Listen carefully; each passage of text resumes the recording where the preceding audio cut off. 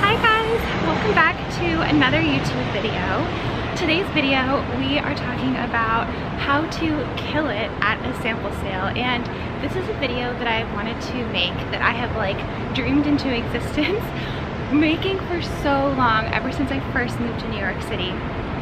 So right now, right behind me right here, this is 260 sample sale. One of my absolute favorite things about living in New York City is the fact that you have access to sample sales.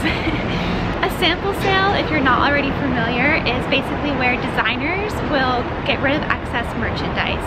So samples are things that, pieces of clothing that were used for a photo shoot, or they were used as like PR samples. So I remember back when I was an intern in, at a fat, like at Escada, which is a women's luxury retail company. So it was like a PR internship and every time an editor was doing a story and they would say, okay, I'm doing a story on this and this, like dresses for summer or something. What do you have? We would have this big closet full of samples where we would send them and basically the samples would go around from magazine to magazine or online publication to online publication and they would shoot them for the content and then they would send them back. The sample sale originally was to just get rid of all of those, you basically sell them for a fraction of the price so you can get designer pieces at a fraction of the price. So it's just amazing. And then also the other thing, the reason why I wanted to film this this week is because we, there's the Reformation sample sale going on.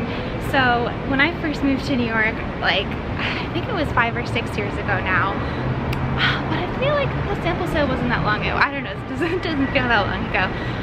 I went to my first sample sale here at 260, we're in Soho, and it was Reformation, and so many people were talking about it, and it was just like tons of girls my age all in line waiting to get inside, and the lines are like four or five blocks long, so it can get pretty crazy, and especially in the middle of the summer. The Reformation one is always in June, also really hot. This, believe this, uh, this, this opens at 10. It's only 7.30 right now and there's, I don't know if you can see, but there's already a girl lined up. So it gets absolutely crazy. Uh, right now is Friday, so it's the last day of the sale. Uh, I actually came here on the first day, which I believe was Tuesday. and uh, so I actually already went in and got my stuff, but I wanted to come back like earlier before there was tons of people around to like film this intro.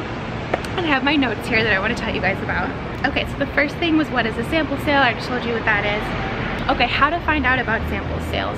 So the biggest like sample sale, I guess, like company is 260 so they do they have actually locations all around the city.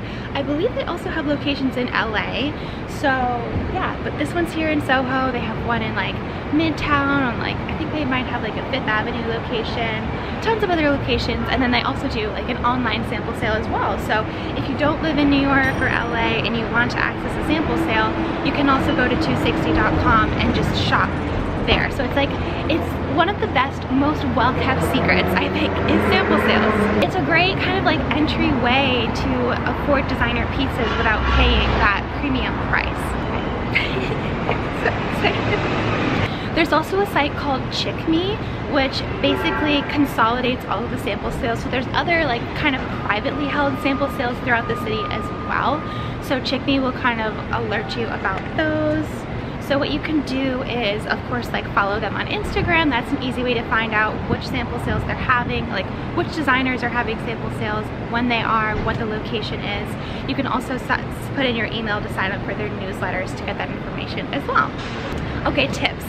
so first of all, get there in line as early as you can.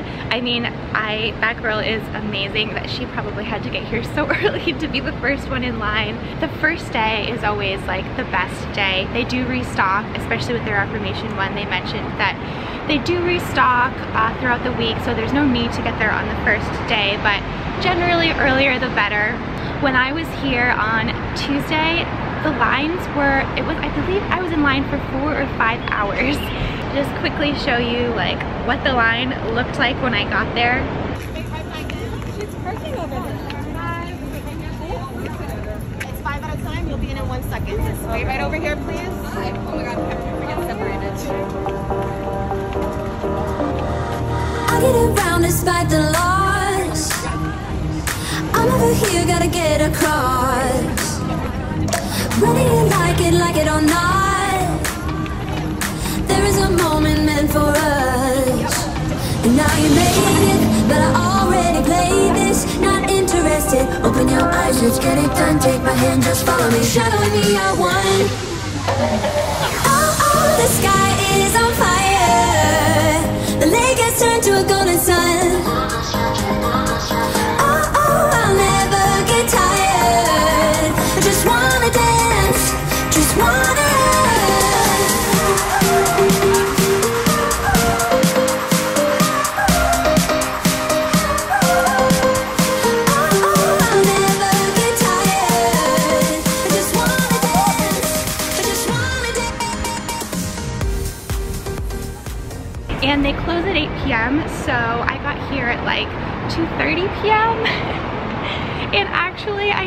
To say I was not off of work. I was still working guys so I took my laptop with me and I was just sitting in line in the sunshine. I did a mobile hotspot on my phone so I had internet. I was answering emails. I was balancing my laptop on like just little stoops and places to get my work done. Thankfully, I didn't have any calls for the rest of the day. Otherwise, I would not have been able to do that. But in the land of the pandemic, when we're all working from home, what's the difference if I'm here in my, sitting in my apartment or if I'm in line? I'm answering, I'm still here regardless. By the way, please do not fire me if you work if, if, if you work at my company. I, I swear this is the only time I have ever done that. or anything even remotely close to that. My butt is glued to my desk, I promise. Anyways, also I'm sorry if there's noises. I am outside so there's cars driving by noise on the street and everything, but oh, okay. Get there as early as you can, expect lines first day. Yeah, if you can, also just take off of work. Take a half day even if you can.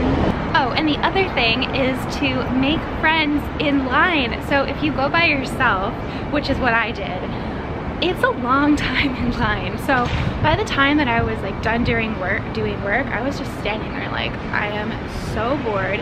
And it came really in handy too because it started pouring and I didn't have an umbrella. When I left, it was extremely sunny out. Like, I mean, I was dying in the sun. And then all of a sudden these like dark clouds started rolling in and I was like, oh shoot, I completely forgot to check the weather. Completely did not bring an umbrella. And then it just started bam, pouring down and like everyone in line in front and behind of me just like popped up the umbrellas. And then there was this girl behind me who was so sweet and she was like, do you want to come under my umbrella? And I was like, yes. And so I got, she like held the umbrella and I mean, obviously it's a long time. So it was like, I mean, we were standing there talking for like two hours under a little umbrella together. We're getting soaking wet. So, I mean, it makes, it, it really can be to your benefit to make friends in line because of reasons like that and also just because you're bored. It's a great way to meet new people too. Like we added each other on Instagram and, and, and just, yeah. All right, the next thing I wanna tell you about is what to wear or what to bring. So there are no like private areas where you can change. so you basically have to change out in the open in front of everyone else. So the easiest thing if you want to just kind of like, you know, maintain your modesty, I guess, is to just wear like tight fitting clothes. So I wore just like a tank top and like a pair of shorts that were tighter. If you can wear just like workout shorts that are like tight fitting, that's perfect and like a tank top. Just something that's closest fitting to your body so that if you throw a dress on over you, it, you'll get the most accurate like sizing of it. Just because I didn't have a pair of shorts that were like workout that were tight fitting but if I had them I would have worn that. And I saw other girls that were wearing that type of outfit. So because once you do make it inside the dressing rooms in the back it's like they have like one giant open dressing basically throwing on a dress over my outfit because that's really how you have to change. It's just like in the middle of the store you just throw it on. And uh, you can see if it fits or not, which I do highly recommend doing because I was holding maybe 10 dresses in my hands and I was able to eliminate it down to four. And had I bought the other ones I would have wasted so much money because obviously you can't return these things so yeah that's just something about that but I, I uh, would definitely recommend that you do try stuff on. I mean otherwise it is like all girls in there and I mean there were people who were just like hanging out in their bra and underwear. It just depends on whatever you're comfortable with. I think by the end I just like took my shirt off and I was like whatever. And I just put the dress on over it. So, I mean, it's up to you, but that's like just what to expect when you're in there. also, another reason why it's important to make friends in line or to just bring a friend with you is that there are very limited mirrors and where there are mirrors, obviously everyone's crowding to them. So bring a friend who can be your mirror for you, put it on and be like, nah, does it look good? What do you think? Does it fit me? Does it look right? And they can tell you the friend can be your mirror. Other tips for when you are inside is that you have to be quick. Like the people that work in there are going to rush you in, rush you out. So because, I mean, obviously there's so many other people waiting and especially during COVID, they kind of have to go around and like sanitize. So they're trying to filter groups in and out. So yeah, you need to be fast when you're looking for clothes, you need to be fast when you're trying on clothes, and you need to be fast to get to the checkout line, check out, and get out of there. Oh, something else about just what to wear what to bring is that you should bring as much like minimal stuff. They're not going to let you walk around with a bag because with sample sales, you could just, you know, put something in your bag. They're just worried about people stealing. So, um, I mean, you can bring a bag with you if you need, but just know that you're going to need to check that bag. They'll give you a little ticket, just like when you check a coat or anything else. But know that you can only actually walk around with your wallet and your cell phone. All right, so strategy once you are inside the sample sale. so, what I like to do is if you're contemplating, hmm, do I like that, do I not? If you like it even at least like enough, just grab it because if you, there's no coming back to it later. Like it will be gone, someone else will grab it.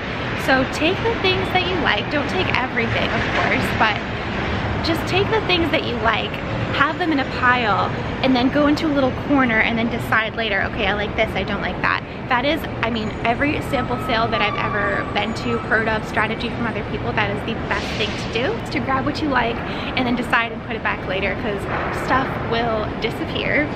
Oh, also just manners, like being nice to other people. I think when I went to the Reformation sale years, the very first one years ago, I remember there were some people that were kind of like pushing and stuff, which just isn't cool. I mean, it's not, clothes are not worth it to do that. Just have manners. Don't be an animal. I mean, obvious, obviously. And then the last thing I guess is just to have fun. I mean, it can really suck waiting that long, but I mean, if you love fashion and you love just, I guess, New York and things like this. I just think that it's amazing and it's so cool and I feel so lucky to be able to have opportunities like this where I can live so close to places like this and I can go to sample sales and I can meet other like-minded people who are interested in the same things. And so, yeah, that's pretty much it. Um, I think the last thing is I'm just going to show you what I actually got at the sale. So I will show you that back at my apartment. All right, before I leave, I just want to show you guys quickly what the line looks like. It is 8 o'clock a.m. and the, it actually opens at 11 today, so I'm really curious how long it is, but anyways, here it is. It's all closed right now, but I'll show you guys. I would have already showed you the clips. Oh, and here's the prices. That's the other thing is that you can look up the prices online ahead of time so you, you can get a chance of what to expect. So here you go. Three per SKU, 24, oh, so you can't get three of the same. I think because they're basically trying to stop people from reselling. Yep. Here it is.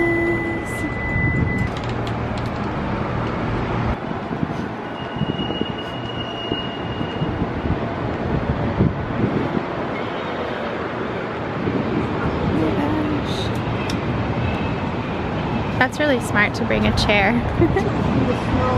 okay, the line's not too long. Boring, boring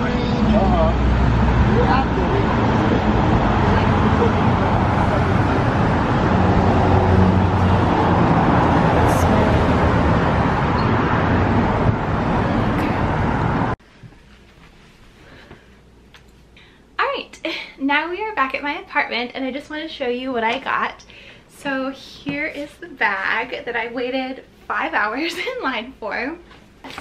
So here it is. They staple it shut at the top so that you, I guess, can't grab other things on the way out.